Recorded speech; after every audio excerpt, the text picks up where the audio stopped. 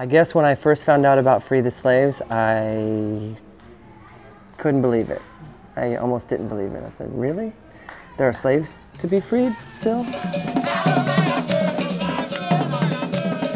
Prior to this trip, I was, I was on the East Coast. And when I say prior, I say only a few days ago, I was on the East Coast of the United States fishing with my family.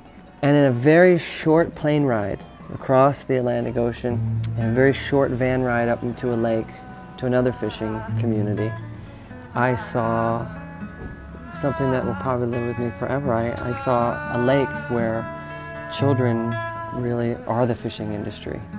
You know, of course, some of them fish with their families to support their families in the fishing villages, but many, many of those children, and the number is unknown, but many of those children are forced to work and cannot leave um, either under threat by their, their traffickers, their slave masters. You know, and some of them, unfortunately, they can't leave due to violence.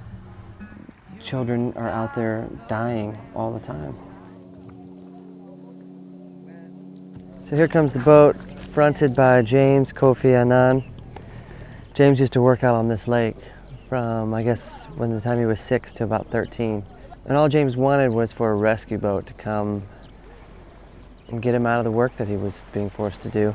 And when he escaped, he taught himself to read, got himself into college, got himself a degree, and he's become well respected throughout Ghana and throughout all over the world. And now he's devoted his life to being the rescue boat that he always wanted when he was a kid. And this is the first of, I believe, many boats that he'll probably acquire. After James and his men perform a rescue and really get with the communities to get the kids out of danger and out of labor, they come here. This is a, a shelter. This is like a rehabilitation center where they're cared for, they're given proper nutrition, and they're kind of slowly explained what's really been going on and that their families have been looking for them. And then after they get through the rehabilitation process, then they're reintegrated back into their communities. So this is this is like the halfway point between you know, being enslaved and uh, being back in the free world. We've got some life to bring. We've got some joy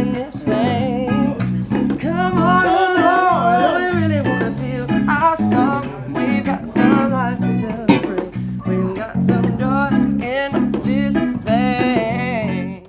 I heard the Freedom Song a couple of months ago, and uh, it was a song by uh, a young man, Luc Reynaud, who traveled to Baton Rouge shortly after Hurricane Katrina, and he wrote this freedom song with children in a shelter.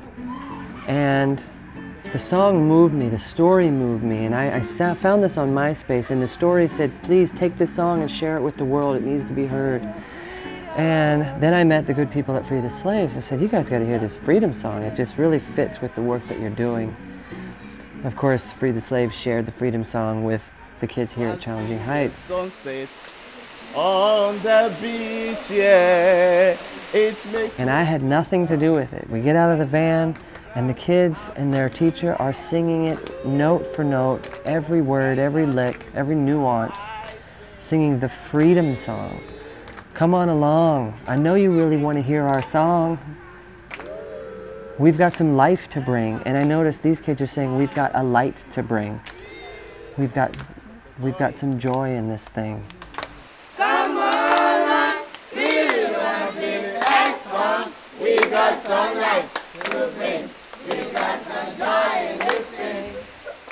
To hear these kids sing of freedom when here in this place might actually be the first time these kids are ever knowing what freedom really is.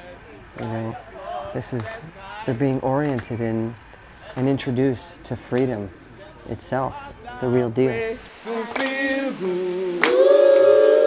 And when I feel good, I sing. It just shows me what the power of music can do. And I salute Luc for writing a terrific song and, and wanting to, to share it with the world, wanting to give it away. And I sent him a text last night.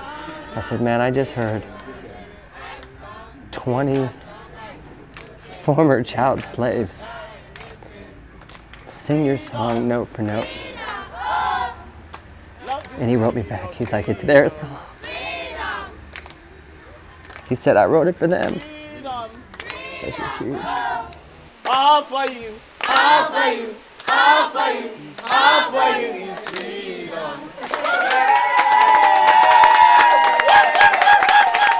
Luc, that was for you, buddy.